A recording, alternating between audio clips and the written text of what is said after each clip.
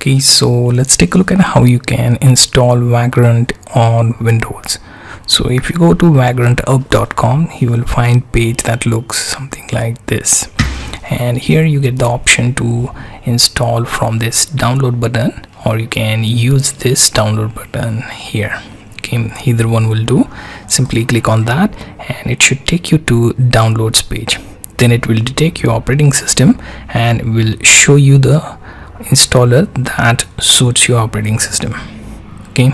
So it requires you to have either virtualbox or vmware installed. In my case i have virtualbox so I, already have it here.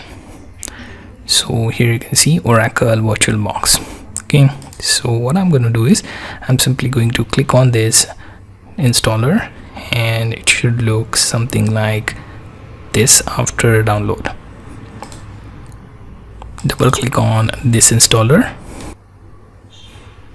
Okay it should open wizard that looks something like this. Click next. Accept the terms. Click next. Then simply use e drive instead of c.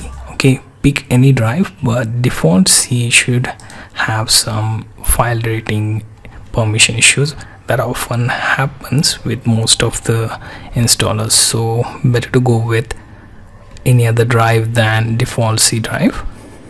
Click next. Now it will ask you to click on this install button which should open one permission dialog. Okay now it should start installation. It will take some time depending on the type of file it needs but after installation it should show you the end of installation. Okay at the end you will see page that looks something like this. Click on finish. And it will ask you to reboot your system. Once rebooted what you can do is you can open your command prompt and then you can type in vagrant then double dash version okay? If you can see your vagrant version that means you have vagrant installed on your windows 10